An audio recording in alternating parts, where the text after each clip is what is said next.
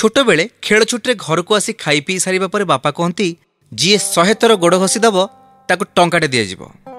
ଆମେ ଭାଇ ଭଉଣୀ ସବୁ କମ୍ପିଟିସନ୍ ଲାଗିପଡ଼ୁ ଗୋଡ଼ ଘଷିବାରେ ଖୁସି ଖୁସିରେ ଗୋଡ଼ ହାତ ପିଠି ଘଷି ଦେଉ ଆଉ ଟଙ୍କାଟିଏ ଲେଖାଏଁ ନେଇ ସ୍କୁଲ ପଳେଇ ଯାଉ ଆଇସ୍କ୍ରିମ୍ ହେଉ କି ବାରମଜା କି ଚକୋଲେଟ୍ କି ଗୁପଚୁପ୍ ମହା ଆନନ୍ଦରେ ଖାଉ ଏଇ ମକର ଟାଇମ୍ରେ ଘରେ ଆମେ ସବୁ ଭାଇ ଭଉଣୀ ଏକାଠି ହେଇଥାଉ ଖରାବେଳେ ବାପା କହିଲେ ଯିଏ ଗୋଡ଼ ଘଷିଦେବ ତାକୁ ଶହେ ଟଙ୍କା ଲେଖେ ମିଳିବ ଶହେ ଟଙ୍କା ଏଇଥିପାଇଁ କହିଲେ କାହିଁକିନା ଆମେ ଏବେ ବଡ଼ ହେଇଯାଇଛୁ କେହି ଶୁଣିଲେନି ବାପା କହିଲେ ଶହେ ନୁହେଁ ହଜାର ଲେଖାଏ ଦେବି ତଥାପି କେହି ଶୁଣିଲୁନି କାହିଁକିନା ଆମେ ସବୁ ଭାଇ ଭଉଣୀ ଏବେ ଲକ୍ଷରେ ପଇସା ରୋଜଗାର କରୁଛୁ ବାପା ଏଥର କହିଲେ ଦଶ ହଜାର ଲେଖାଏଁ ଦେବି ଆମେ ଭାଇ ଭଉଣୀ ମିଶିକି କହିଲୁ ଦଶ ହଜାର ଲେଖାଏଁ ଯଦି ଜଣକୁ ଦେବ ତାହେଲେ ଦେଉନ ସେଇ ପଇସାରେ ଗୋଟେ ମସାଜ ମେସିନ୍ କିଣି ନେଇ ଆସିବୁ ଦିନ ସାରା ଯେତେ ଇଚ୍ଛା ଗୋଡ଼ ଘୋଷାରେ ମଜା ନେଉଥିବ ବାବା ଦୀର୍ଘ ନିଶ୍ୱାସ ମାରି କହିଲେ ଥାଉ